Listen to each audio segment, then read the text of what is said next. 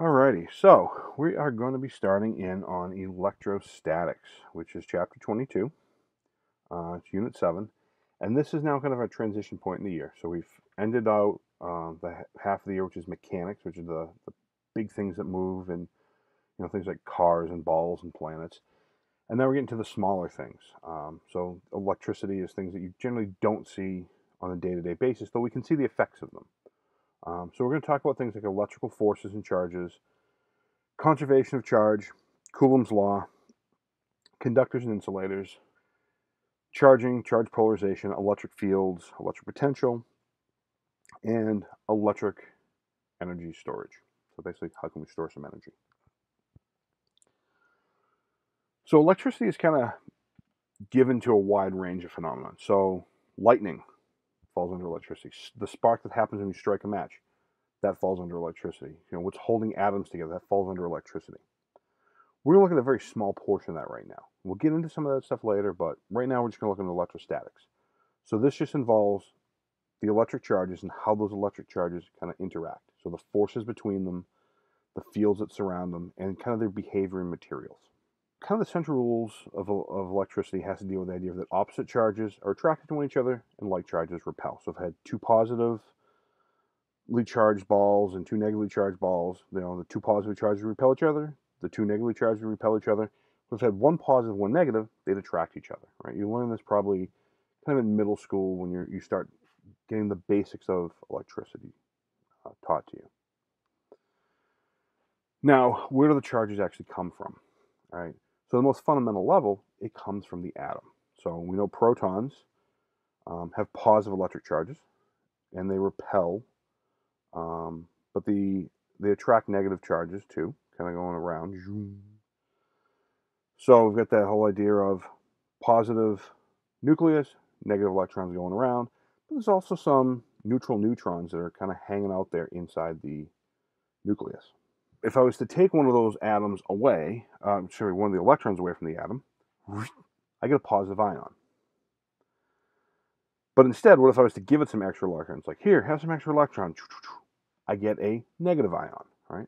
So again, we learned about these in chemistry. They a positive ion, negative ion. You started talking about ionic bonding between them.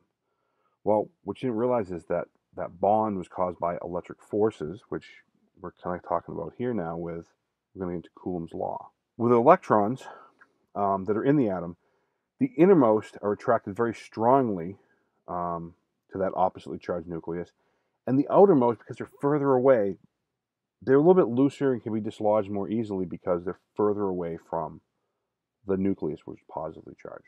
Just a little quick example here. Check in.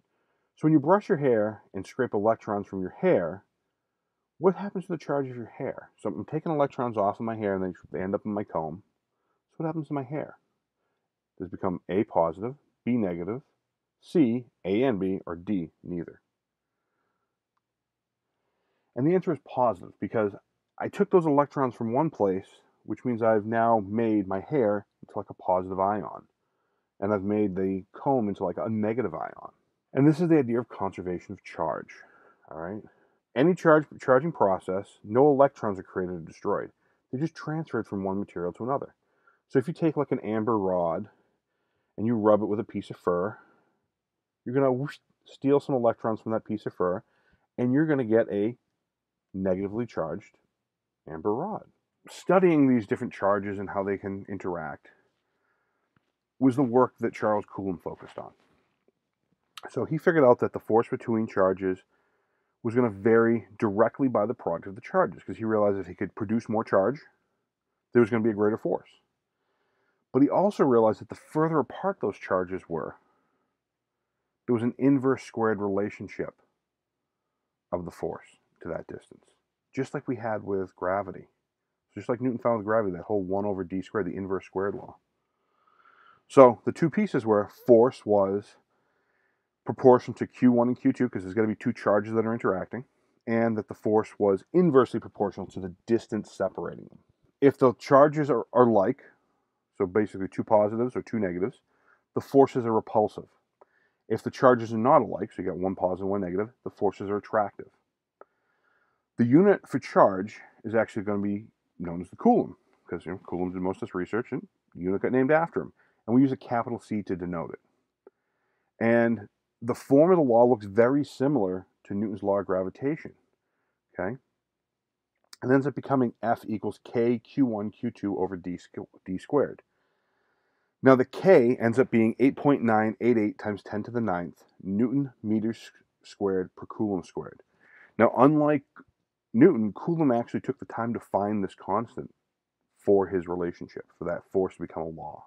So now, according to Coulomb's law, okay, which again, just to kind of remind you here, is that F is equal to K Q1 Q2 over a D squared.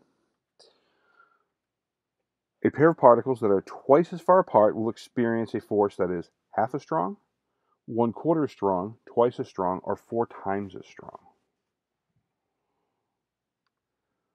It ends up being a quarter as strong because it'll be 1 over 2 squared. So 1 over 2 squared is 1 over 4, so a quarter.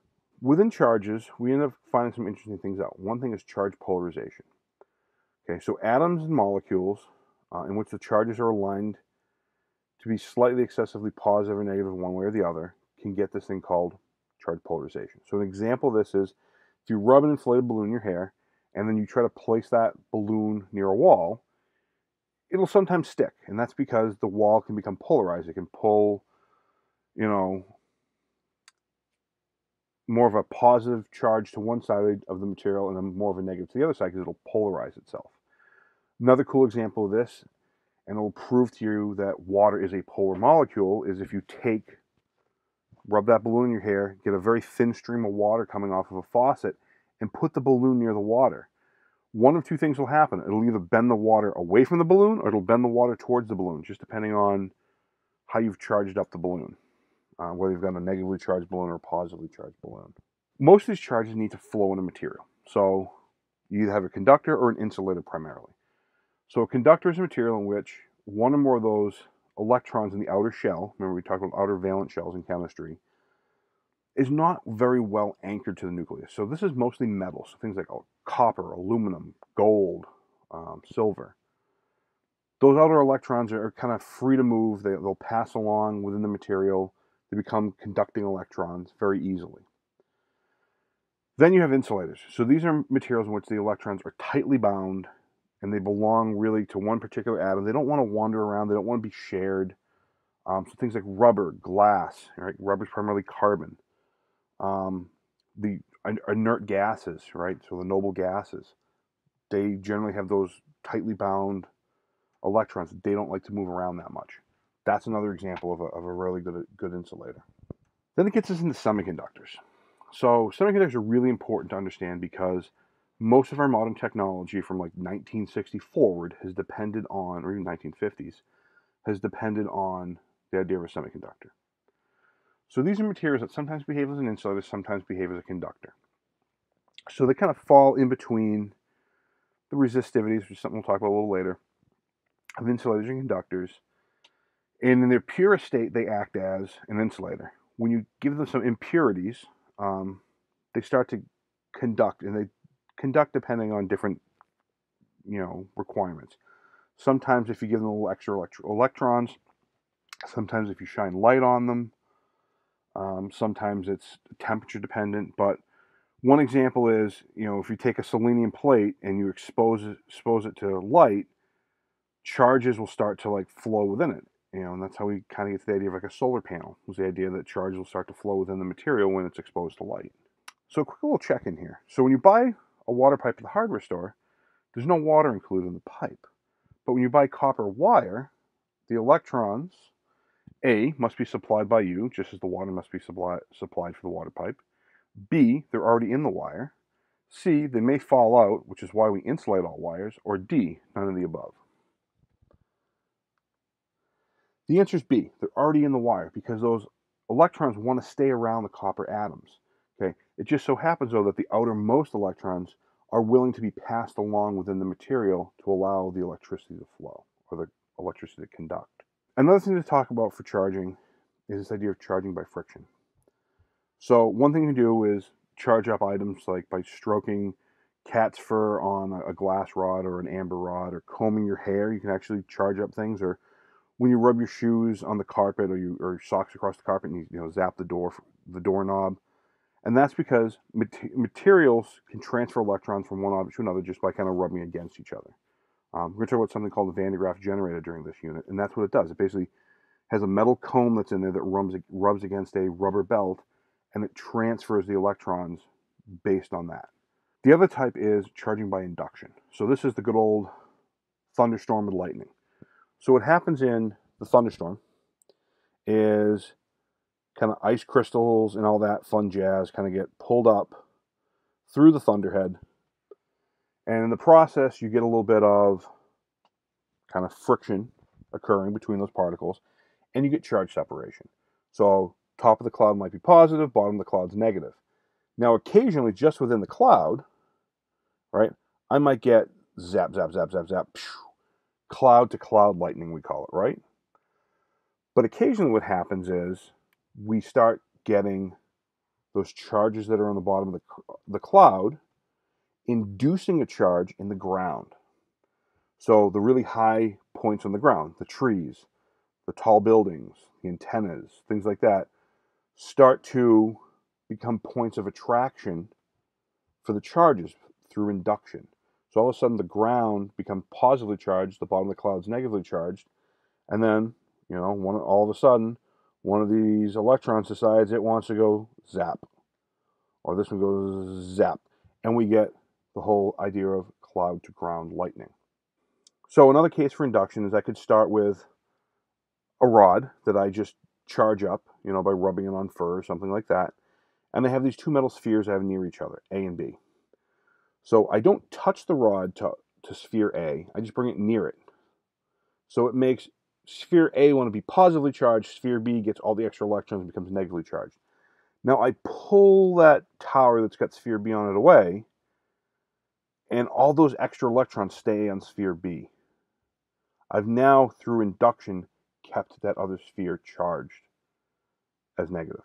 Again, depending on the process, whether I start with the frictional charging, which I have to do to charge up the rod, or then the transferring through induction, I can then, you know, store charges in different ways. Electric charges have to be caused by kind of electrons or protons. And something you may have heard of before or not is something called charge quantization. All right, or at least maybe you've heard the term quantum mechanics. So this whole idea of quantum mechanics or charge quantization is is the fact that I can't have half of an electron or I can't have a quarter of an electron. I can only have a whole electron. So in terms of charges, all of my charges have to be based on whole electrons. So the smallest unit of charge is 1.6 times 10 to the negative 19th coulombs. You know, nothing nothing smaller than that. That's the smallest I can possibly have. Now, in terms of a coulomb, a coulomb is a very, very large unit. So one coulomb is 1.6, uh, would be, you know, divided by that 1.6 times 10 to negative 19 coulombs per electron would give me 6.25 times 10 to the 18th electrons in one coulomb of charge. That's a lot of electrons. Um, those lightning bolts could have 20 to 30 coulombs of charge in them. Now, on a day-to-day basis, though, we're probably not going to deal with a full coulomb of charge. We're probably going to deal with micro coulombs of charge. All right, and micro brings back one of our nice little mathematical friends here, mu, but this time mu is a prefix, so mu c is microcoulombs, and it would be 10 to the negative 6 coulombs. So this idea of charge quantization is basically saying like everything when you get down to the lowest level is basically like built out of Lego bricks. You can't have half a Lego brick. You know, is that smallest one by one brick? That's the smallest we can have here. Nothing smaller.